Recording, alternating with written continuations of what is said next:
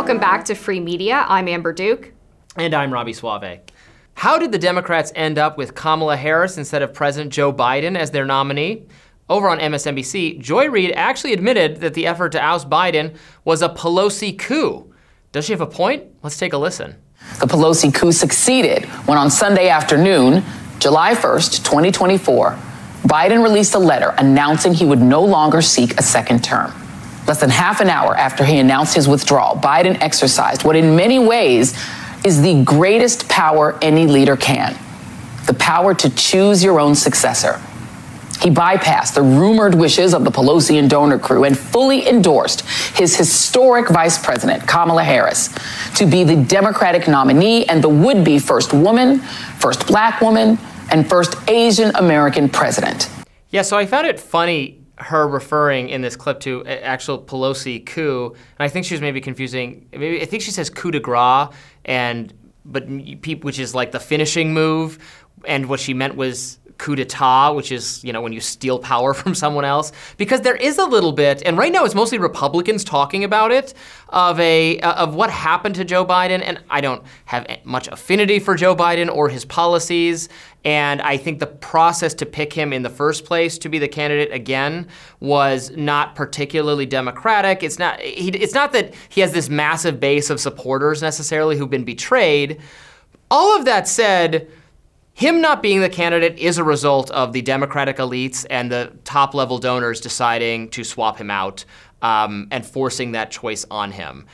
It, it, it's it was not done democratically. Maybe no one's complaining about it because he didn't have support to begin with, but it's like the process was undemocratic and then the correction was also undemocratic. It was kind of a coup, it seems, organized by Pelosi and Barack Obama behind the scenes to say that we don't think he can win, and so we're just we're just deciding, like the smoke filled rooms of yore, that it ought to be someone else at this late juncture. Yes, I think that every aspect of the primary process on the Democratic side has been massively disrespectful to their base of voters because even if you believe that, you know, Biden was the incumbent so he had the right to sort of this sewn up nomination process, they also engaged in a massive cover up of Biden's cognitive decline that was laid bare during that first presidential debate. So you had a, a, voter class that was not able to make an informed choice about who they wanted to and be they, the nominee. And they were worried even before that. They, if you pulled actual the Democratic base, a majority said they had serious concerns right. that he was already too old and I believe, to run before they saw the footage. Right, and I believe it was two thirds who said that they preferred yeah. to have a different candidate.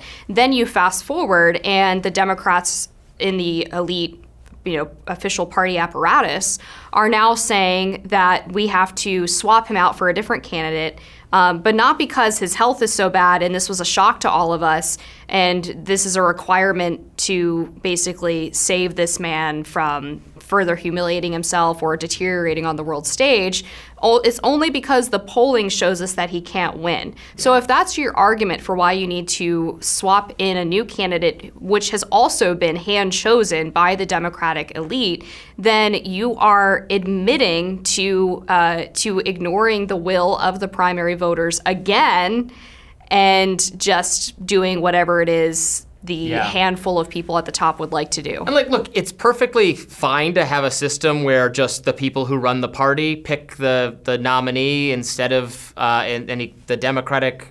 The, the, the voters that used to be how nominees were chosen in both parties throughout the course of like you know the 19th century where it was the smoke filled room saying that oh it would be great in this election if we had someone from you know ohio and someone from south carolina you know that's the compelling ticket they comment they didn't run sometimes the incumbent president if they thought they had a stronger ticket. And yeah, it wasn't democratic at all. It was based on the needs of the era. In modern times, we've done it where the people decide, and it, on the Republican side, that often, in, as it has been the case with Trump, is infuriating to the elites who absolutely wanted a different candidate, but um, they can't do it because on the Republican side, Trump does have a base that is so committed to him, and there would be a there would be blood in the streets if they did if the elites in the Republican Party did what the Democratic elites just did to Joe Biden. Uh, on the other side, Joe Biden doesn't have that level of base enthusiasm. Um, still, you know, if you were a if you were a Biden fan, and there are some of them out there, or, or there are people who prefer him to the alternative at least they got to feel a little bit like, huh, my party just decided, nope, the incumbent president can't be the guy anymore in a, in a very unprecedented fashion. It's a it's a exceptional circumstance because the debate happened and he is clearly in decline and I don't think he could have made it through four more years. In fact, I don't really think he should be president right now if he's not going to make it through four years. Uh, we're kind of doing a little.